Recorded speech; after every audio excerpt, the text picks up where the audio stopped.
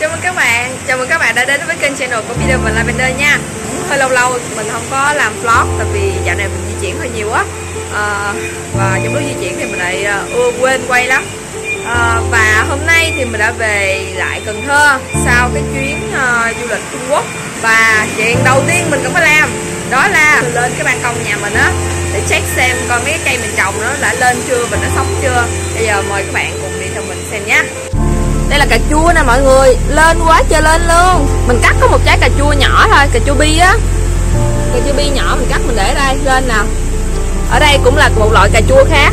Cây này là cây cỏ bứt nó ra đi đừng có dành ờ, chất dinh dưỡng với ờ, cây của tôi. Ờ, nhưng mà có vẻ như có con gì ăn hay sao? Cắn ngang cắn ngang vậy ta.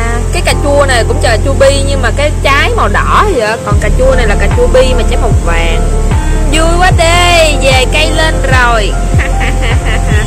Cái này là cây chanh hay cây tắc gì đó. Có bông có bông má ơi. Yeah.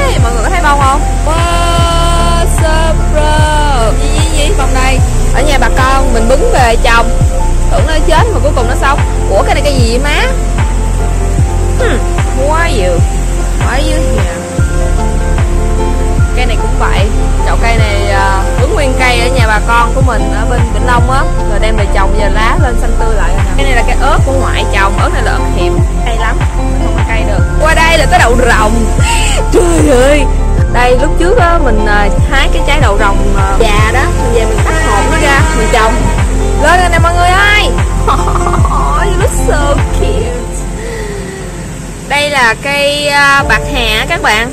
Trời ơi, nhìn nó là cái chút xíu xíu xíu à cái bạc hà này á, tưởng nó chết rồi. Mình đào nó, cái củ nó trong cái chậu này nè, tại mình lấy đất của cái chậu này ra, mình sang ra, mình trồng những cái chậu khác á. Ui cây ớt ở đây cũng có ớt lên luôn. Mình thấy cái củ của bạc hà, mình ghim đại, vậy mà nó cũng lên các bạn. Ở đây có hai cái bạc hà nữa nè. Hai cái bạc hà này cũng bứng từ nhà của người à, quen về trồng á. Bây giờ nó cũng tươi tốt nè, để mình mần cỏ một chút nha. Ở ngoài này nè, phía ngoài này nè, ngoại mình có trồng rau ôm á. Mà ôm nè với ờ, ngò gai nè. Mới mưa xong mới hơi bị ngập nước. Ngoài ra cũng có mấy chậu ngò gai. Nhà mình trồng ngò gai tốt lắm. Tốt đến nỗi mà ngoại mình bứng, bỏ bớt luôn á. Đây nữa nè. Cái ớt này nè, lúc đầu mình cứ tưởng nó chết không mà các bạn. Tại ba mình bứng á, ba mình bứng nguyên một cái to gì luôn, lá nhiều xung xê lắm. Mình về tối hôm đó là mình về là phải ngắt bỏ một số lá liền để cho cây dưỡng cây á. Mấy cái trái này nè. Có lẽ là cũng phải ờ, ngắt luôn á dưỡng cho cây nó nó sống.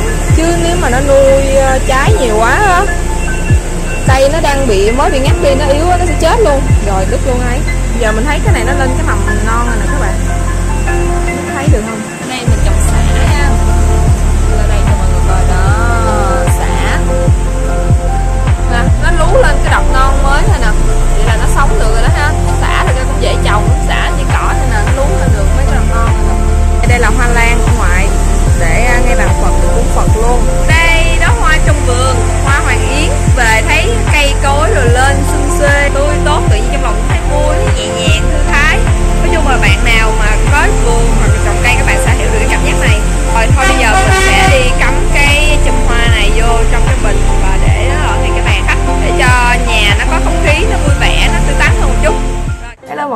Hôm nay là ngày 27 tháng 9 Hôm nay mình sẽ tổ chức sinh nhật. Bất ngờ cho Peter à, hiện tại thì Peter đang tắm rồi. À, cho nên mình tranh thủ mình à, giới thiệu một chút. Sinh nhật của Peter là ngày 4 tháng 10 nhưng mà vì à, cái khoảng thời gian đó tụi mình có một số công việc cá nhân bận cho nên không có tổ chức được. Và hiện tại thì mình đang ở Cần Thơ. Rồi có cha mẹ bạn bè thì cho nên mình tranh thủ mình làm luôn. À, hôm nay mình sẽ dẫn cho các bạn đi một cái quán ăn rất là đặc biệt. Nó mang cái phong cách rất là châu Âu. Cái không khí á, nó làm cho mình gợi nhớ về châu Âu nhưng mà cái phong cách à, bài trí thì cũng có một chút Việt Nam nha các bạn chuyên bán về cái món steak và cừu rồi vậy nha các bạn đi theo tụi mình nha It's your birthday, it's your birthday, happy birthday. Happy birthday, happy birthday to you. Another big year is finally here. Happy birthday, happy birthday It's your birthday, it's your birthday, happy birthday. Happy Happy birthday, happy birthday to you. anh Hưng là điểm ông sẽ cổ anh ngày sinh của điểm mà Happy birthday to you Happy birthday to you Happy birthday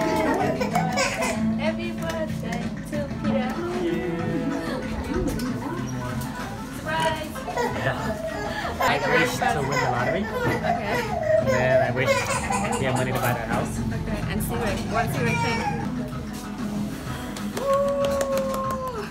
Another big year is finally here. Happy birthday.